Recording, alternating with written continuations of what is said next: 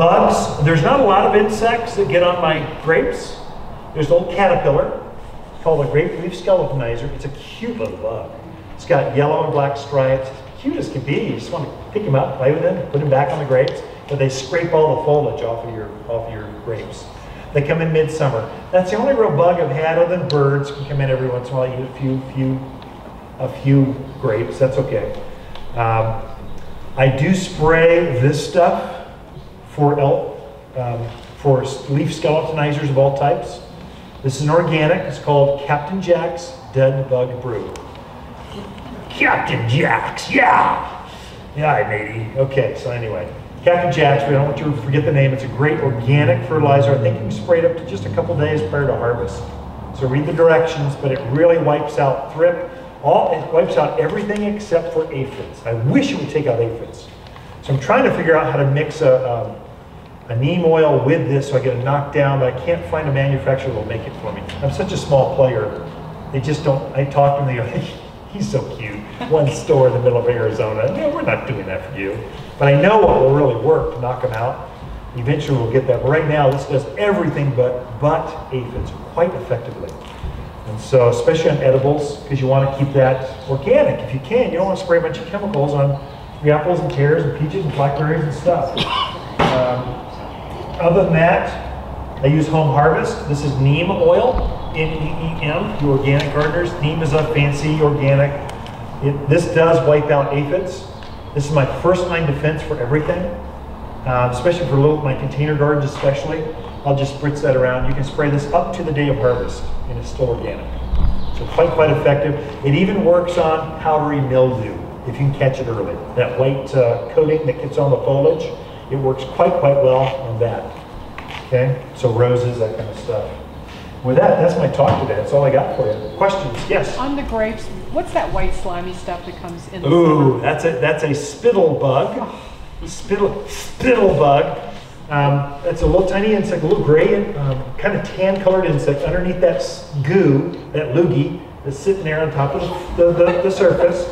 There's a bug, and he, he does that. He oozes to keep the birds and other predator uh, insects off of them. The neem oil wipes them right out.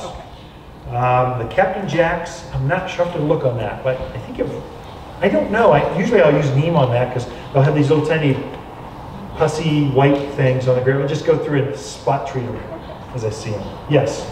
Yeah, your blackberries, do you have to be careful with the mulch touching the canes too, or just the soil? I, I am careful with that. I generally don't think, I don't let dirt and stuff gather up against. Now my bramble patches are so big anymore, I'm less careful with it because they're just so established. They're starting to send up canes every place. Kind of go, eh, they're, they're fine.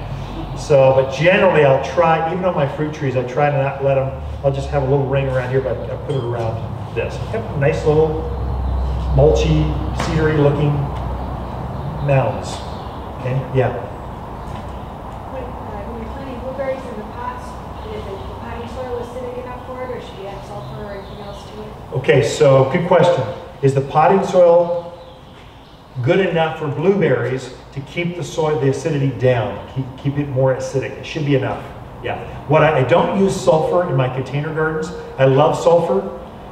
I use it on everything in the spring. So I've already, in the month of March, I go spread this on everything in the yard, the lawn, the thyme lawn, the fruit tree, everything.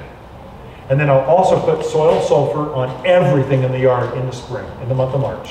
So I've already done that. In fact, the rains, I know, I took an Instagram photo of my clematis. It opened up with the rains. Because all that food I put down became activated uh, when, when the rains came. It just a huge purple flower. And so it, it activated. I don't use sulfur in my containers because I, I'm a gardener. I'm also an American. You know, more is better, bigger, more. Ah. And we're generous. We tend to go a little more often than we should. And I've killed some things in my containers because I put too much sulfur. I made it too acidic. I find in my container gardens, this is acidic enough, and I do put 2.5% sulfur in this already. So I, I only use this in my container gardens for my raspberries, just for flowers, whatever. I only use this. Okay. Good question. Any last questions and we'll release. And if we didn't get to your questions, I'll just hang out And I'll, and I'll finally end up over next to the grape section. I'll just go hang out there and help folks.